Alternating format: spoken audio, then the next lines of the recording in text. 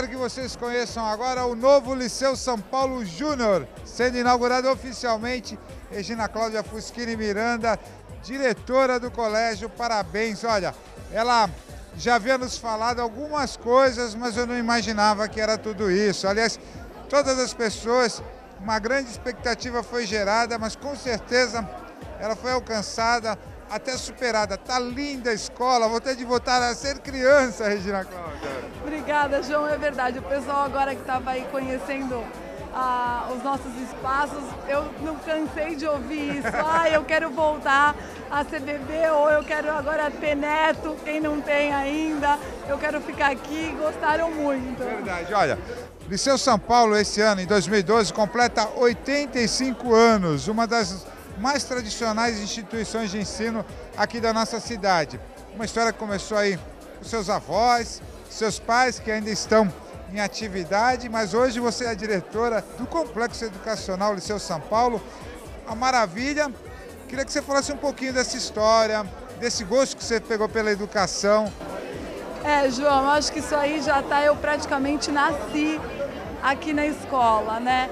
E, e assim, o, a ideia toda da gente reformar a educação infantil foi porque nós equipamos o prédio é, do ensino fundamental 1 e 2, do ensino médio, está totalmente equipado, tecnologia toda nova, a gente lá tem os laboratórios, salas multimídias, e praticamente todas as salas são com lousas digitais e tal. A partir do momento que eu vi os meus alunos tendo acesso a isso tudo, a isso tudo muito novo, é, eu imaginei que a educação infantil não poderia ficar atrás.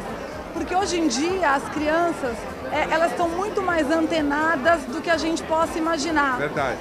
Ela está contribuindo com isso. Olha só, a sala de informática não são computadores, são tablets. Ou seja, cada criança vai ter um tablet para trabalhar, é isso? É isso sim. Cada um vai ter o seu específico para trabalhar juntamente sob orientação da professora, mas eles cada um vai ter o seu, desde o maternal até o, o, ensino fundamental 1. Olha, são tantas novidades. Eu vou começar aqui por baixo para as pessoas conhecerem os espaços do Liceu São Paulo. Temos a fachada nova, logo na entrada nós temos ali uma simulação de uma escolinha de trânsito.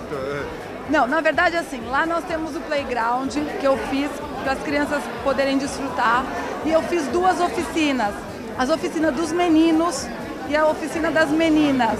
Então, é, a dos meninos é só com carrinho, patinete, uh, tu, é, ferramentas, o chão é feito com carrinhos também para eles poderem estarem brincando. E o lado das meninas é tudo rosa, é com penteadeira, banheira, tudo relacionado às bonecas, que é o que as meninas gostam. Olha, e depois você acessa aqui, você tem um corredor, você dá de cara com uma piscina novíssima, linda, linda. Eles têm atividades na piscina? Eles têm atividade na piscina, porém as nossas atividades são recreativas. As crianças entram para brincar com um professor de educação física e juntamente com os auxiliares, eles entram na piscina e uma coisa, o piso da piscina ele foi elevado então a criança entra e não desaboia nada. Nós colocamos até as boias por precaução. Olha, e ao lado da piscina tem o pátio também, lúdico, colorido, muito bonito. E ali atrás nós temos o refeitório, a cozinha gourmet e a brinquedoteca. Tudo climatizado, como as salas de aula, uma beleza. Isso, e também tem a horta. Também a horta aqui ao lado, é verdade. Que eu fiz isso para que as crianças saibam a importância de criar bem uma plantinha, que a necessidade de dar água a elas.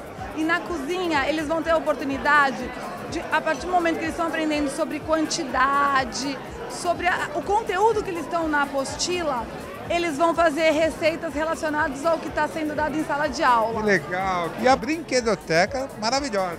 Isso, a brinquedoteca é todo com material pedagógico, é, material de madeira, coisas que, para desenvolver a coordenação motora e a parte lúdica das crianças, são materiais necessários. Ficou demais, lindo. Agora, entrando aqui no prédio, no andar de baixo, eu vi uma coisa diferente que eu achei muito interessante. Até os coordenadores, a diretora, pode ter acesso ao que está acontecendo dentro da aula e a criança também, em função dos vidros, né? Eu soube que você viajou o mundo aí pesquisando escolas, né? O que, que elas faziam de diferente e você acabou implantando aqui no Liceu São Paulo Júnior. Isso, isso aí foi uma coisa principal que quando eu estava numa escola em Londres e eu falei tem que ser, isso tem que ter é, as salas de aula com paredes de vidro, porque o que que acontece? A criança pequena, as janelas elevadas, portas grandes, ela só tem visão de parede em torno delas. Então as minhas salas de aula não tem porta, são só portõezinhos baixos e paredes de vidro. Assim a criança sabe tudo o que está se passando em torno dela. Sala multimídia, achei o máximo. O palco, você tem um teatro para as crianças com poltronas. Então, eles aqui, eles têm aula de teatro e música também. Então o teatro, nós fizemos o teatro com palco e com um camarim atrás. Que legal! Então as crianças, eles vão desenvolver atividades do teatro, são gravados, monitorados e depois eles sentam para assistir na televisão que tem também em cima do palco. Olha, sala de línguas também, de idiomas, porque o Liceu São Paulo Júnior também é bilíngue. Isso, então, nós, nós temos uma professora que ela todos os dias ela fica aqui integral. Todos os dias as crianças têm aula com ela, uma hora por dia. É, eles têm contato com a língua inglesa. Então, assim, ao longo da semana, eles desenvolvem um conteúdo de, em diferentes etapas. Então, várias atividades diferentes são, são propostas, falando sobre o mesmo conteúdo, a fim até da, de uma melhor fixação. O nosso curso, ele é todo apostilado com o ângulo. E aqui você tem crianças de um ano a seis, é? De oito meses a seis anos de idade. Então, tudo de, também é tudo apostilado pelo ângulo e bilíngue. E eu tenho o período integral, que a criança vem de manhã e fica até, até o fim do dia. E, o período regular, ou só pela manhã ou só pela tarde.